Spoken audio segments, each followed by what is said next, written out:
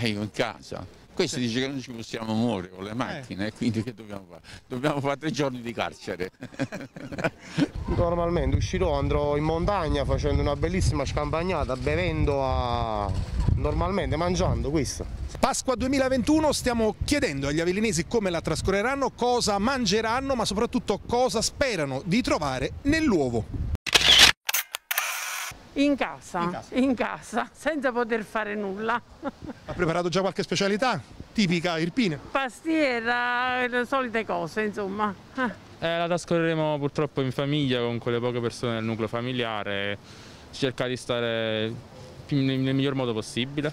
Che cosa mangerete? Questo sì, qualche specialità tipica, insomma, irpine? Eh, dolci diciamo il- la roba tipica, tipo la, pasta- la pizza con l'erba, la pizza piena, la pastiera, le cose diciamo più irpine, tipiche, diciamo le cose più tipiche. Vuoi fare un augurio a tutti quanti i nostri telespettatori? Sì, sicuramente. Auguri e buona Pasqua a tutti.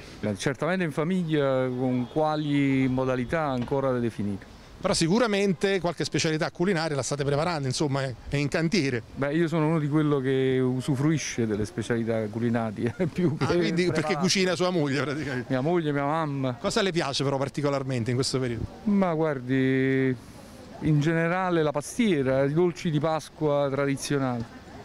Allora, come primo piatto facciamo la, la classica lasagna, Ah, sì, poi l'agnello alla brace, perfetto. poi come rustici facciamo la pizza, quella rustica che noi chiamiamo, chiamiamo la pizza piena, La pizza piena, dentro Sì. ci mettiamo un po' di tutto. formaggio, sì, salame, Sì.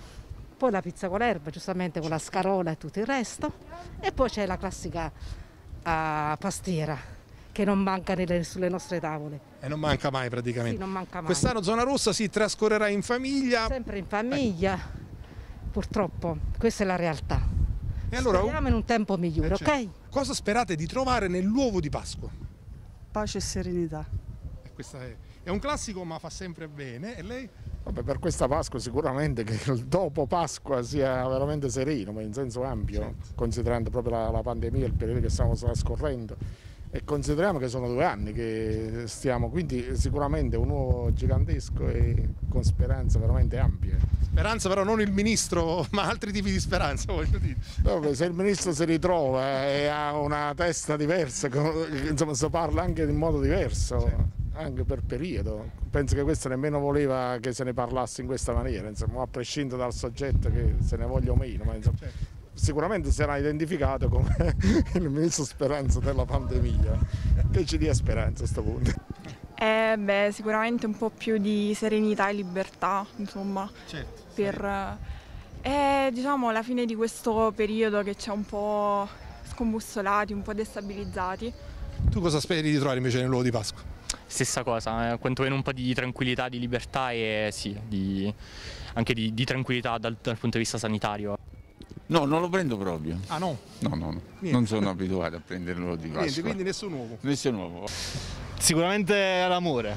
L'amore? L'amore sì, ma a 360 gradi. A 360 gradi, Sì. quindi una fidanzata, una No, moglie. no, no, amore, c'è bisogno di amore e rispetto per tutti. Ah, in questo, in questo periodo, soprattutto dopo questo periodo. Cioè, penso che questo possa essere l'insegnamento che possiamo trarre, cioè il migliore. Normale, come tutti gli anni. Eh, Tutti gli anni aprono perché è zona rossa, quindi Ah, sai. dipende, se allora dipende molto secondo me dalla persona, da come la pensa. Secondo me, cioè io personalmente non la vedo e non faccio come il 90% della popolazione italiana sta facendo. Uno scende o non scende, se te lo devi prendere te lo prendi, ok? Certo. Questo è il discorso, mascherina o non mascherina, io così la vedo, poi non lo so. Non lo apro che sono diversi anni, però eh, spero qualcosa di bello, casomai. no? Ecco, Una tipo- bella sorpresa. Tipo. Eh, non lo so. eh, ma una bella così sordi. oh.